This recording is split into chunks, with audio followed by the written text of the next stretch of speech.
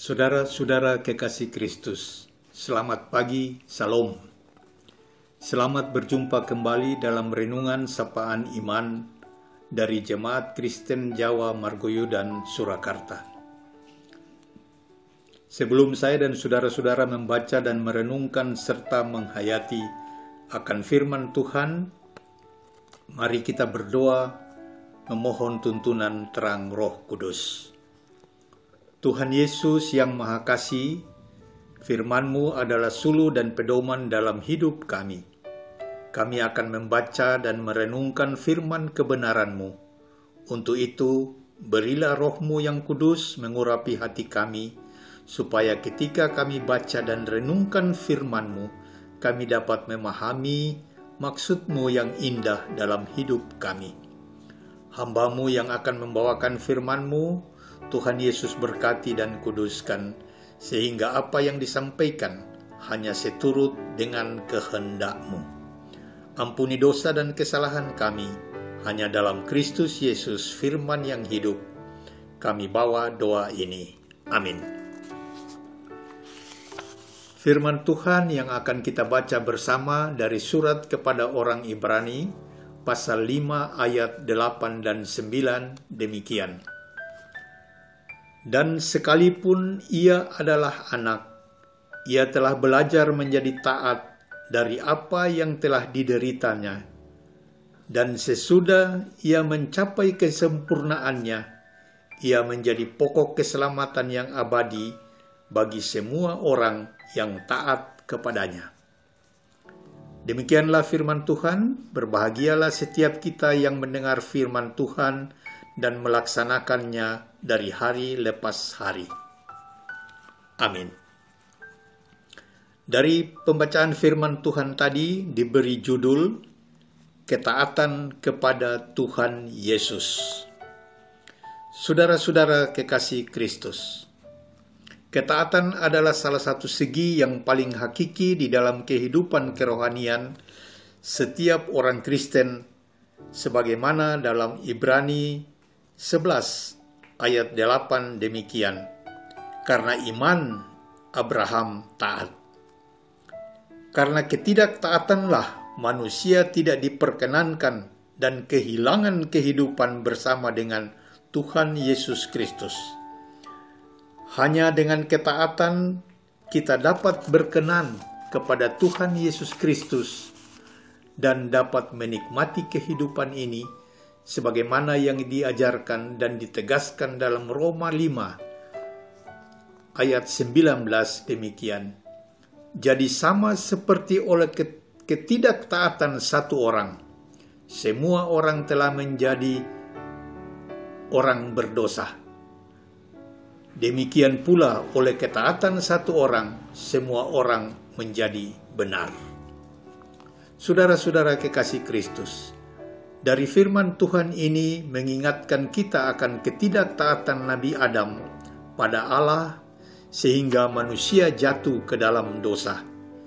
Sebaliknya, Tuhan Yesus Kristus yang penuh kerendahan hati, begitu taatnya kepada Allah Bapa, sehingga rela mati demi menyelamatkan umat manusia dari dosa, sehingga semua manusia menjadi benar. Karena pengorbanan Tuhan Yesus Kristus, itulah maka manusia bisa diselamatkan. Saya dan saudara-saudara dapat melihat ketaatan Tuhan Yesus Kristus kepada Bapaknya sebagaimana yang diajarkan dalam Injil Yesus Kristus Yohanes 15 ayat 10 demikian Jikalau kamu menuruti perintahku kamu akan tinggal dalam kasihku seperti aku menuruti perintah Bapakku dan tinggal dalam kasihnya. Tuhan Yesus Kristus berada di dalam kasih Bapaknya hanya bila Tuhan Yesus Kristus taat kepada Bapaknya. Saudara-saudara kekasih Kristus, kini timbul pertanyaan rohani bagi saya dan saudara-saudara. Begitu besar dan dalamnya pengorbanan Tuhan Yesus Kristus sampai dia mati karena untuk menebus dosa saya dan saudara-saudara, serta dosa umat manusia. Masihkah kita ragu untuk tidak taat pada Tuhan Yesus? Satu-satunya jalan untuk kita tetap tinggal di dalam kasih dari Tuhan Yesus Kristus, maka kita harus taat pada Tuhan Yesus Kristus dengan segala firman kebenarannya. Tuhan Yesus Kristus hadir di tengah-tengah dunia ini.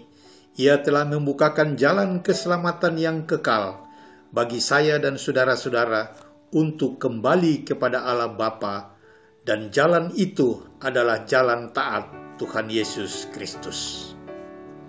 Dengan iman yang sungguh kita yakin Tuhan Yesus Kristus telah membebaskan dan menyelamatkan kita dari kuasa dosa. Maka kita memiliki kuasa yang sangat besar untuk senantiasa taat kepada Tuhan Yesus Kristus dengan segala firman-Nya sebagaimana yang diajarkan di dalam surat Roma 6 ayat 17 demikian. Tetapi syukurlah kepada Allah, dahulu memang kamu hamba dosa, tetapi sekarang kamu dengan segenap hati telah mentaati pengajaran yang telah diteruskan kepadamu. Saudara-saudara kekasih Kristus, Roh Kudus adalah suara Allah di dalam Tuhan Yesus Kristus Apabila kita mendengar suara yang hidup itu, maka mudahlah kita untuk taat pada Tuhan Yesus Kristus. Mendengar suara Tuhan Yesus Kristus melalui firman-Nya secara sungguh-sungguh dan rajin, serta melakukannya dalam hidup ini, pasti akan menimbulkan ketaatan kita pada Tuhan Yesus Kristus. Di dalam Injil Yesus Kristus, Yohanes 10 ayat 27 ditegaskan, Domba-dombaku mendengarkan suaraku, dan aku mengenal mereka, dan mereka mengikut aku. Saudara-saudara kekasih Kristus, kiranya ketaatan yang benar yang disertai sukacita sudah dari permulaan menjadi ciri daripada kesungguhan persekutuan kita dengan Tuhan Yesus Kristus yang ketaatannya telah memberikan kehidupan serta keselamatan bagi kita umat manusia. Berkat ketaatan kita kepada Tuhan Yesus Kristus dapat menguatkan kehidupan kita dan mendatangkan berkat surgawi di dalam hati kita. Ketaatan kepada Tuhan Yesus Kristus itu mutlak diperlukan dari saya dan saudara-saudara karena merupakan ciri utama daripada ketulusan hati kita kepada Tuhan Yesus Kristus. Karena itu, kita dipanggil untuk menjadi pribadi-pribadi yang taat kepada Tuhan Yesus Kristus, sehingga kita menjadi anak-anak Tuhan yang berhak mewarisi sorga rumah Bapa yang kekal sebagai ahli waris kerajaan Allah. Sebagaimana yang diajarkan dalam Injil Yesus Kristus, Yohanes 3 ayat 36 ditegaskan, Barang siapa percaya kepada anak, ia beroleh hidup yang kekal, tetapi barang siapa tidak taat kepada anak, ia tidak akan melihat hidup, melainkan murka Allah tetap ada di atasnya. Sungguh, merupakan suatu anugerah yang indah yang tak ternilai dalam hidup ini bila kita taat kepada Tuhan Yesus Kristus. Terpujilah Tuhan Yesus Kristus dengan segala firman-Nya. Amin.